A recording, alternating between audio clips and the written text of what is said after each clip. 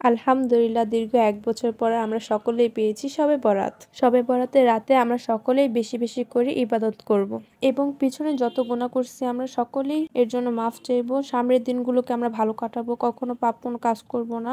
ইনশাল্লাহ এই সবে বরাতের উসিলা আল্লাহ আমাদের সকলকে মাফ করে দিবে। তো সবে বরাতের দিন তো সবাই রুটি হালুয়া খায়। তো আমার মামা আমাদের জন্য রুটি পাঠিয়েছে যেটা আমি আনবক্সিং করতেছি। আগের দিনগুলো অনেক মিস করি। আগে তো আম্মুরা সবে বরাতের একদিন আগের থেকে রুটি হালুয়া বানানো শুরু করতো। কিন্তু এখন শর্টকাটে দোকান থেকে আনা যায়, তাই না? কিন্তু আগের দিনগুলো ছিল অনেক ভালো।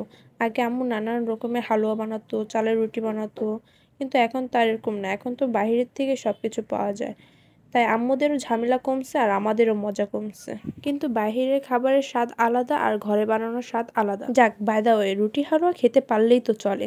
ওটা ঘরে বানানো হোক কিংবা বাহিরে কিনা হোক। সবে বরাতের দিন ঘরে সবাই রোজা রেখেছে, কিন্তু আমি আর আমার ভাই ছাড়া। দুজনেই খাওয়া শুরু করে দিছি সবার আগে রুটি হালুয়া।